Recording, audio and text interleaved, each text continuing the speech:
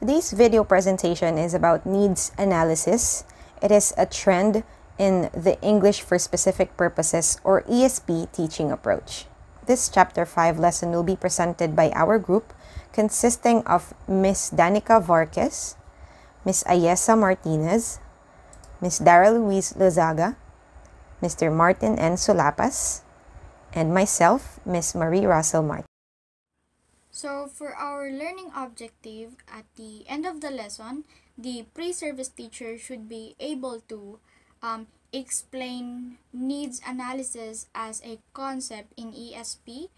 Next is differentiate the general English and English for specific purposes.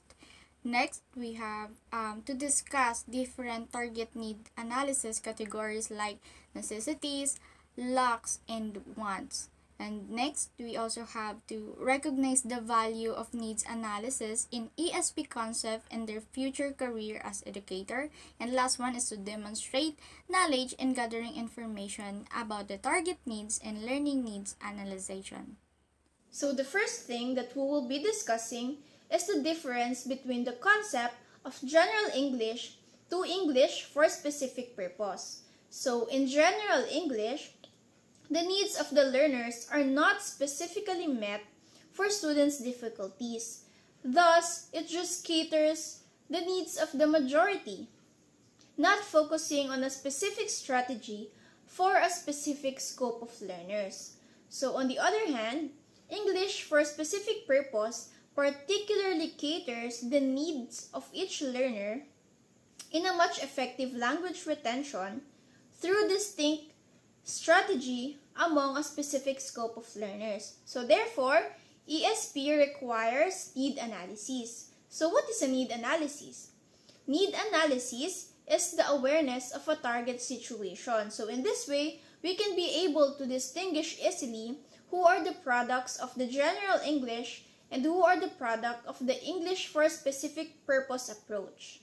So, what do we mean by target need analysis?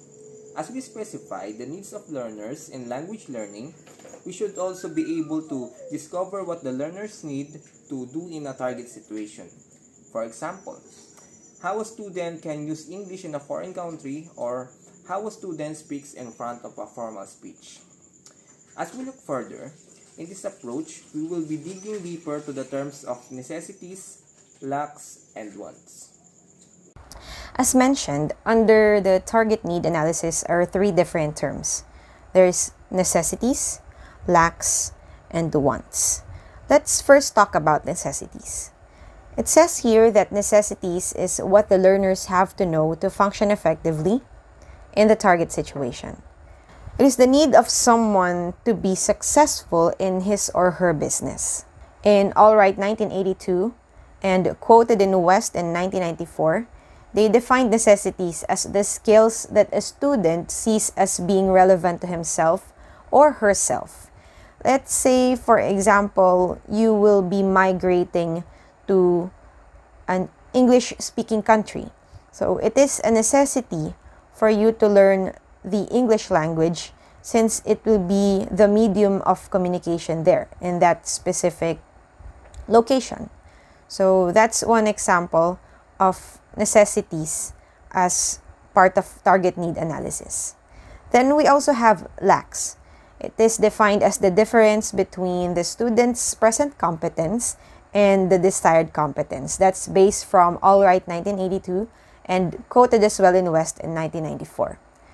One more definition based on Hutchinson, Waters, and Breen in, in 1979 is lacks are what the learner knows already so that the teacher can decide which of the necessities the learners lack.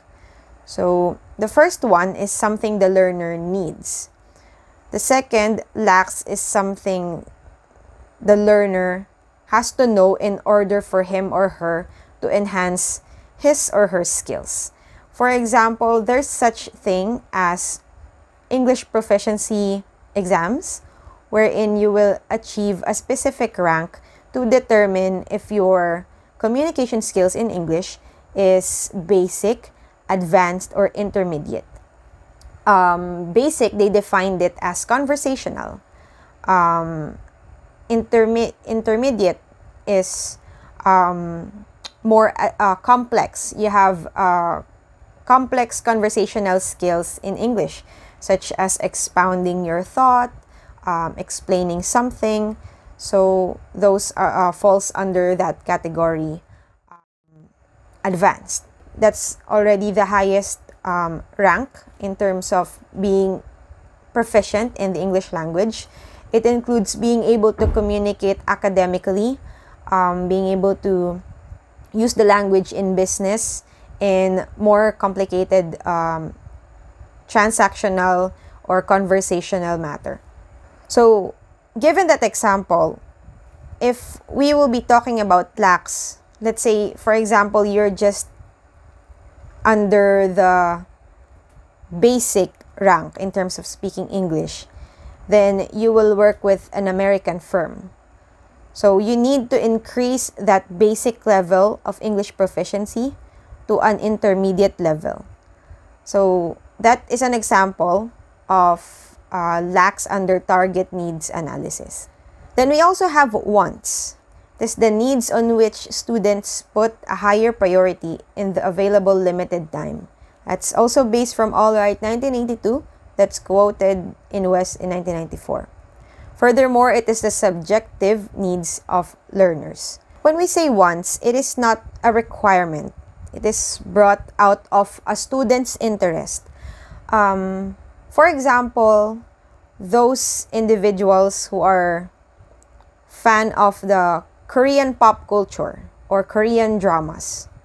So this is not English re- uh, related, but still related to language.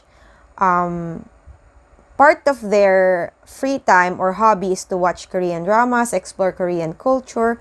So they have this desire to learn the Korean language. So that is an example of um, a want in terms of um, target need analysis in language learning. Same goes with those who are fan of uh, European and American series. We aim to understand that uh, movie or that TV show without reading the subtitles and be able to understand it well despite the English being our second language and not our mother tongue. So that desire brings the uh, interest and the motivation to learn English.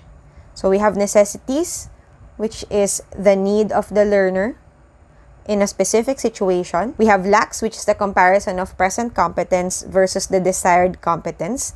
If the learner wants to advance his or her um, English speaking skills or language skills. We also have wants. Those are the needs of the learners brought out of their interest or curiosity in a specific language or particularly the English language. Gathering information about target needs. Asking questions about the target situation and attitude towards the situation of the various participants in the learning process. So, in gathering information, it describes the process of acquiring knowledge. It is the process of collecting information about events or process in a carefully and orderly way. Also, in gathering information is the most important of the critical thinking process. Getting all of the information you need to make a decision will always lead to the best outcome. So now we have here ways to gathering information about needs.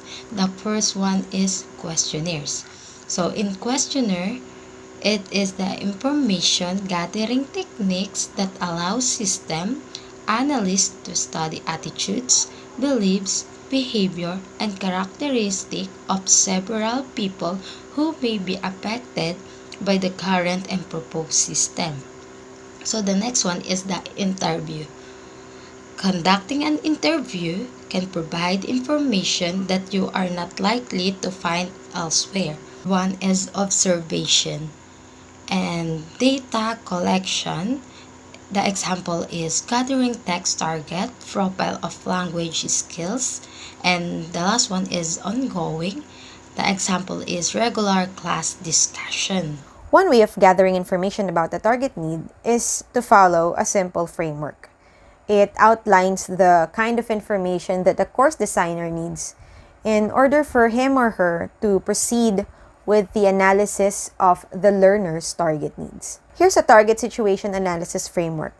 First in the outline is why is the language needed? Is it for studying, for your work, for a specific training, or for a combination of those three items? Because in work, we also do uh, study new concepts, we attend trainings. If those are in English medium, so we would also need to learn English. Also, if it is for some other purposes like status, examination, or, or promotion. As I've mentioned earlier, there are uh, language proficiency exams. So those fall under the first outline, which is why the language is needed. Second is how will the language be used? We are talking about the medium, if it is about speaking, writing, or reading, as well as the channel, if the message will go through phone conversation, video conference, or face to face conversation, and the type of the text or the discourse. For example, if it's for school, academic texts, for lectures, informal conversations, technical manuals, catalogs, as well as your day to day conversation. What will the areas be? So, we are talking about the subject or the level of the understanding of the person that we talk to. For example, if language will be used in the field of medicine, biology, architecture, shipping, commerce, engineering, or for business. Also, we need to consider if we are talking to a technician, to craftsman, to postgraduate, or if we are in a secondary school setting. Um, there are different uh, types of English that they are using. If we are not familiar with those, they tend to become jargons or unfamiliar terms to us. So for our next situation analysis framework question, we have who will the learner use the language with? To whom should the learner use the language with? So the learner can use the language with those people who are uh, native speakers of that specific language or some non-native speakers yet they are a, uh, they are able to understand that language. The learners can also use the language with uh, these people, this type of people that uh, they, the learner should consider the level of knowledge of the receiver of that specific language. Like for example, some expert, um, layman, and student. The learner can also share that language with through uh, through relationships. Like for example, um, uh, share the language or using that specific language to communicate with their colleague, teachers, um, customer, superior, or to their subordinate. So for our next target situation analysis framework, we have here, where will the language be used or where can the language be used? No? So we can use it to physical settings, um, human context, and linguistic context. Let's go with physical settings first. So physical setting is where the language is used, no? We can use that language in our office or we're in lecture theater, we're in hotel, in a workshop, or in library. So when we say uh, human context naman, we hear by um, using the language alone or we're in the meetings, we have um, demonstration or you are on the phone. We have linguistic context. So in linguistic context, this is where uh, uh, this is refers no, to the environment in which the language is used. Like for example, in your own country or in abroad. That is where the or where will the language can be used. So for our last target situation analysis framework question we have here, when will the language be used? So when when when does it take place now so uh, we can use the language when we are concurrently um, with the ESP course or subsequent uh, subsequently uh, using the language. We can use the language it's either frequently, seldom, in a small amount of people, or in large chunks, wherein you are using that language to communicate with those people. So need analysis is clear on its goal to cater each learner's point of view including our unexpected changes or our tiny weaknesses. It can be interpreted in need analysis. So therefore, ESP or English for specific purpose concerns with people's behavior in every situation and every specific situation and aim. And need analysis caters each learner's point of view that may vary according to their background, preference, and interest. Aside from target needs analysis, which looks at the specific need of a learner to learn the English language, we also have learning needs analysis. So, learning need is what the students need in order for them to learn. Using our analogy of the ESP course as a journey, what we have done so far is to consider the starting point or the lack. We also looked for the destination or the necessities and where the destination should be or the wants.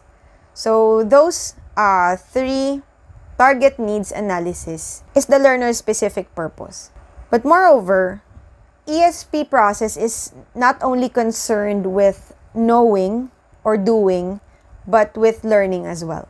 So now that we already know why we need to learn English, how would we make sure that we will be able to learn effectively or efficiently? As a as a teacher, we need to also consider the interest or the capabilities of our students of how they can acquire language. We need to take into account the destination or needs of a learning situation. The task or the course that we should design for the learners should be enjoyable, it should be fulfilling, it should also be manageable and generative. When we say generative, it should be able to enhance their skills and produce um, results effectively. We also need to consider the route or the path that the learner should take in order for them to learn English for their specific purpose. We need to consider the conditions of their learning situation. We need to be able to assess the learner's existing knowledge, their skills and their strategies in learning, as well as their learning motivation. Students may need to read long, dull, complex texts, but their motivations may be high because they like the subject in general. The next one is examination are looming. And the third one is job or promotion prospects may be going on to do very interesting experiments or practical work based on the text. They may be like or respect the subject, teacher, or boss. So also, students do not see the learning as a subject separately from the learning of the language of the subject. Learning the context of a subject means learning the language of that subject. Earlier in the target needs analysis, we used an outline or a framework that provides the information the course designer can use. We can also use the same framework in order for us to identify the learning needs of a student other than their target needs. We have here a similar checklist used for target situation analysis. This is a sample framework for analyzing learning process. First question is why are the learners taking the course? Is it compulsory or is it optional? Is it a parent need or not an urgent need? Are statuses or money promotion involved? Is it for their job or just for their personal mastery of the language? What do learners think they will achieve? Will they achieve recognition, certificate, um, qualification?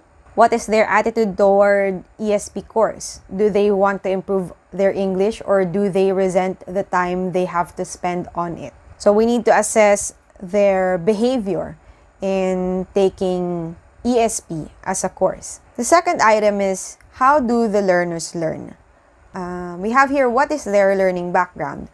Uh, for example, we have um, scores of their English proficiency exams.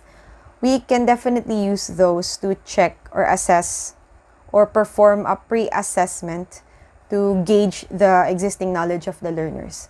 We also have what is their concept of teaching and learning. So, how, how they learn, what are their practices in learning, what methodology will appeal to them, so this is concerning our techniques, our teaching approaches. Then what sorts of techniques are likely to bore or alienate alienate them? Of course, if we identify those um, techniques that might bore or make our course dull, we have to eliminate and uh, change it to a different approach. Then third is what recourse are available. These are the number and professional competence of teachers if they have effective and efficient instructors, attitude of teacher to ESP. If a teacher also encourages his or her learners to uh, learn English to attain their specific purpose. They're also considering the teacher's knowledge and attitude to the subject content, the materials, the aids, the opportunity of out of class activities, and the rest of the learning resources that a student can have so that they can still learn even after a class or after a meeting. The fourth thing that we should take note for analyzing learning process is knowing our learners. Age brackets, gender preference, and social and cultural upbringing strongly affects the learner needs. We should be able to know their background knowledge in English and other subjects. We should also uncover their interest, their attitude to English as a language and culture, and what teaching style they use or introduced before. The fifth thing that to take note is the Physical Learning Center where ESP will take place. So for our last framework for analyzing learning process or analyzing learning needs, number six question when when will the ESP course take a place? Or when no? It has time of the day it's, it's either every day or once a week. It's full-time or in a part-time or concurrent with need or pre-need of the student. So english learned at elementary junior and senior high school levels is uh, commonly called general english while English learned at the university level is called um, English for Specific Purposes, which is ESP, because it is taught in accordance with the field of science. So ESP itself aims to provide student with English that is important in their majors. No? The English learning is expected to provide student with competent, uh, competence in English language wherein concurrent with the learner's need or pre-need no this language is formally learned by applying curriculums at various level of education consisting of elementary schools junior high schools senior high schools and university no in a formal way it is learned by attending english tutoring sessions or course provided by language institution. So to sum it up, English for specific purpose requires need analysis. So with this, we can be able to know what people do with language. Is it to inform, to entertain, to persuade, or to just communicate? We should also know how are they going to use the language and why are they going to use the language. This is the very reason why need analysis is coexistent with the English for a specific purpose. For our quiz, to access the quiz, it is in via Google form by scanning the QR code or through the link below. So this concludes our presentation. I hope you learned a lot in terms of needs analysis in relation to English for specific purposes as a course and I hope you'll get high scores in our quiz. Thank you for listening and thank you for participating.